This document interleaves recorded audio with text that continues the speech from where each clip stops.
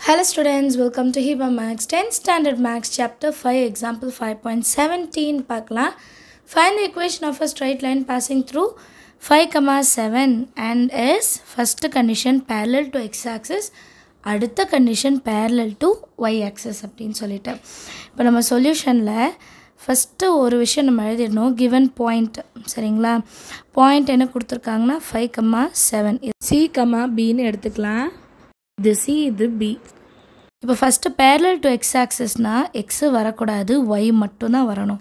இப்போ கிராஃப் எடுத்துக்கலாம். இது எக்ஸு இது ஒய் பேரல் டு எக்ஸ் ஆக்சஸ்னால் இதுதான் உங்கள் லைனு எக்ஸிலே டச் ஆகாது ஒயில் தான் டச் ஆகும்.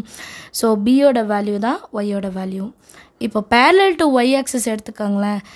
ஒய் லைன்லேயே டச் ஆகாது எக்ஸ் லைனில் தான் டச் ஆகும். ஸோ பேரல் டு எக்ஸ் ஆக்சஸ்னால் ஒய் பக்கம் அதாவது பியை விட்டு சி மட்டும் எடுத்துப்போம். இதுதான் கான்செப்ட் ரொம்ப ஈஸி இப்போ parallel to X axis first condition so நம்ம கொடுத்துருக்க பாயிண்ட்டை காமனாக எழுதிட்டோம். புக்கில் வந்து ஒரு ஒரு சப்டிவிஷன் கீழே எழுதியிருப்பாங்க. நான் ஃபஸ்ட்டே அதை எழுதிட்டேன்.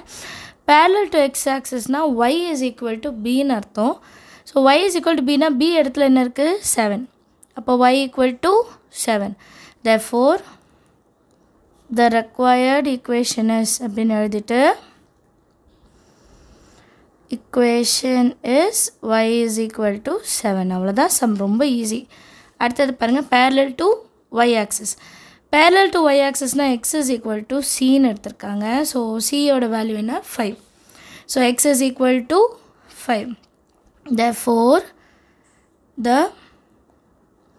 required